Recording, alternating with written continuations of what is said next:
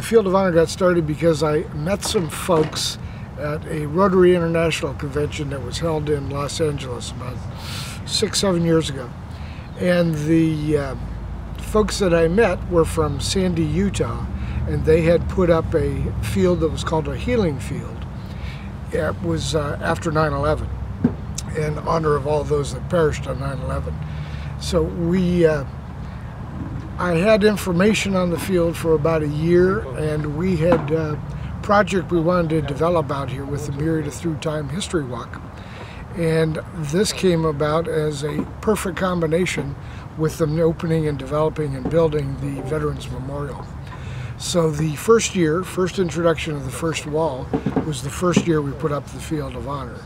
And it was um, the difference between our field and the original model in Sandy is that this is a field to honor everybody's heroes. Whether they, uh, certainly we want to honor those that have passed, but it's also to honor those that are currently serving, those that are veterans that have served and come home, as well as first responders.